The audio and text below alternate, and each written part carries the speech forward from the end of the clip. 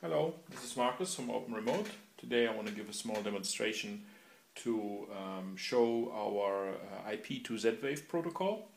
Uh, we're using the HomeScenario uh, IP to Z-Wave bridge and uh, I'm controlling a few devices with this. Um, there's a door contact, a movement sensor, a normal light switch and a Z-Wave dimmer. Um, right now we're supporting the switch device and the dimmer device and the door contact and the movement sensor. They're just acting as switches. They have a status on or off. So because um, I was just moving my hands around over there the door movement sensor says on oh, just turned off. I can open the door and we can see on the user interface the door is open.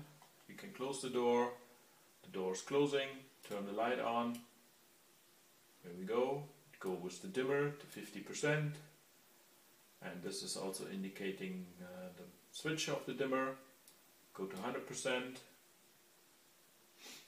and we turn the light off again,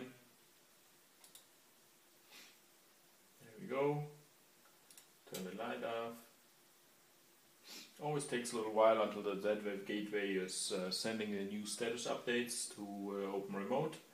I'll put my hand on the movement sensor. The movement sensor goes on. We can open up the door again. We can turn the light on. We turn the light off.